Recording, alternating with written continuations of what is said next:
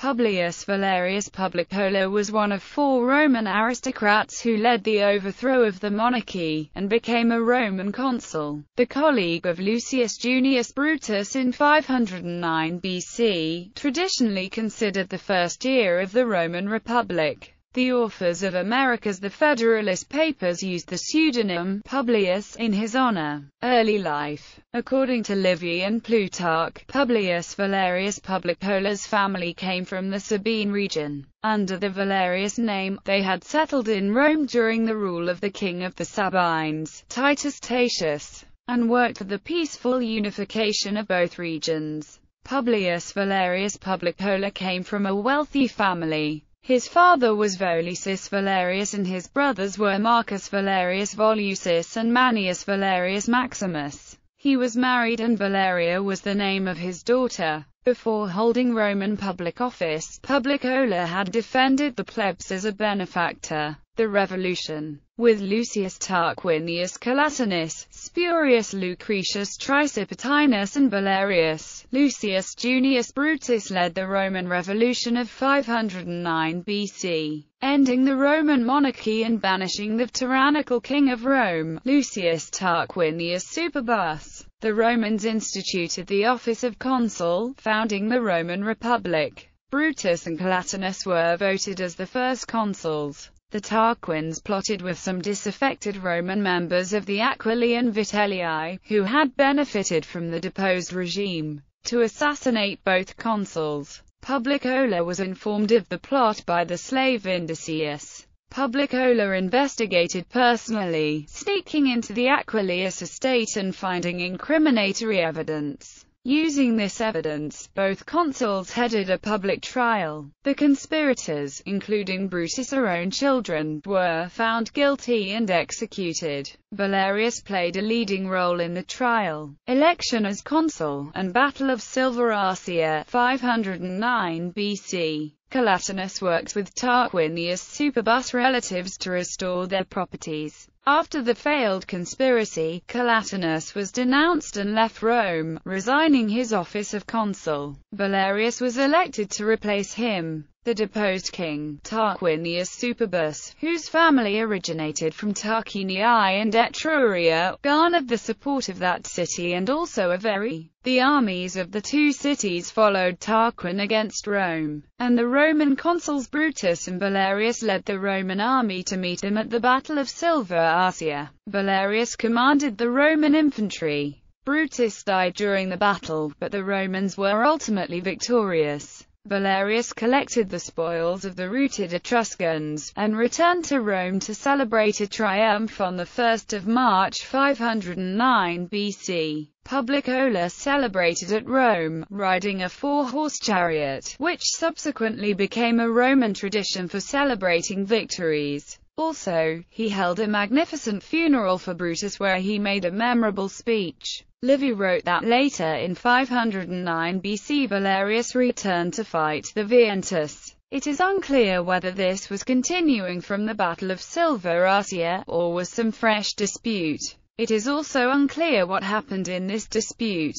Reforms during First Consulship, 509 BC. After the death of Brutus, Publius Valerius Publicola was the lone Roman consul, which he held without scheduling new elections. He started to build a magnificent new residence on top of the Velian Hill, which was conspicuously visible from the Senate building. When people began to comment that he was apparently going to re-establish the monarchy, Publicola stopped its construction, demolishing it in a single night. Publicola defended himself before an assembly of the people, having firstly lowered the fasces in the face of the assembly as a mark of respect. I have just liberated Rome, bravely, but now I am slandered, like being either an Aquilius or a Vitellian. I am the bitterest enemy of the former kings, so I shouldn't be accused of wanting to be king. He volunteered to move his house to the foot rather than the peak of the Velian hill, so as to diminish any suspicion leveled against him. His house was constructed at that site, where in later times was built the Temple of Victory. Before the impending elections, Publicola repopulated the Senate, which had been severely reduced by the king and the recent war. Also, he wrote a series of popular laws.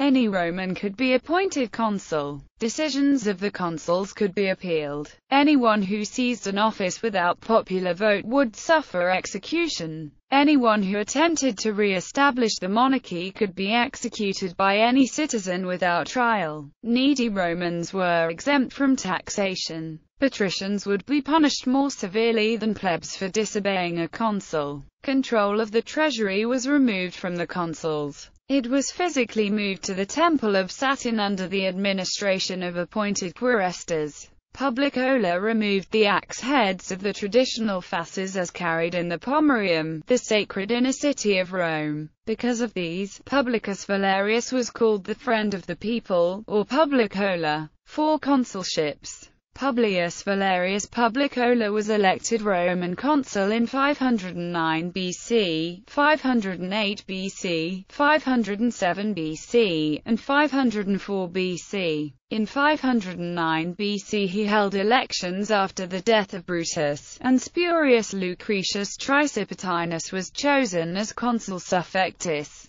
Lucretius died a few days later, and Marcus Horatius Pulvillus was elected in his place. In 508 BC and 504 BC his consular colleague was Titus Lucretius Tricipitinus. Marcus Horatius Pulvillus was his colleague again in 507 BC. War with Clusium. In 5008 BC, Lars Porsena, the king of Clusium, attacked Rome at the behest of Tarquinius Superbus. According to Plutarch, both Publicola and his fellow consul Titus Lucretius were severely wounded during the battle. During the siege, Publicola executed a successful sally, defeating a Clusian raiding party. According to Plutarch, Valerius negotiated a peace treaty with Porsena which ended the war. He surrendered hostages, including his daughter Valeria, and Porsena protected these hostages from the Tarquinii. War with the Sabines in 506 BC, the Sabines attacked Rome. While his brother Marcus was consul, Publicola participated in two Roman victories which repelled the invasion. The people rewarded Publicola with a house on the Palatine Hill. In 505 BC, the Latin League and the Sabines threatened Rome with a large army. Although diplomatic negotiations were halted, Publicola meddled in the inner politics of the Sabines by assisting Attius Clausus. With Publicola's help, he moved into Rome with 5,000 Sabines. He was made a citizen with the name Appius Claudius, and was the founder of the Claudii. When the Sabines attempted to besiege Rome, Publicola successfully commanded the army, anticipating their movements and thwarting their plans. He was elected consul in 504 BC and conducted war successfully against the Sabines, and celebrated a triumph in May of that year. Death Publius Valerius Publicola died in 503 BC, shortly after passing the consular office to his successors, Agrippa Menenius Lanatus and Publius Postumius Tubertus. Livy records that at the time of his death he was considered, by universal consent, to be the ablest man in Rome, in the arts both of peace and war. He had little money and so he was buried at the public charge, and was mourned by the Roman matrons as had been done for Lucius Junius Brutus before him. By decree, each citizen contributed a quadrans for the funeral. The remains of Publicola were buried within Rome, at the Velian Hill. His death was mourned by the Romans for an entire year. After Publicola, all noted members of the Valerius family were buried near the same spot, legacy. In a collection of 85 essays promoting the adoption of the United States Constitution, written in 1787 to 1788 by Alexander Hamilton, James Madison, and John Jay, the three statesmen used the allonym Publius in honor of Publicola's role in establishing the Roman Republic. Following the Spanish-American War a piece titled, The Duty of the American People as to the Philippines, was published under the pseudonym, Publicola. The author recommended the development of the Philippines to improve the lives of the Filipino people as well as to further American trading interests in the Orient.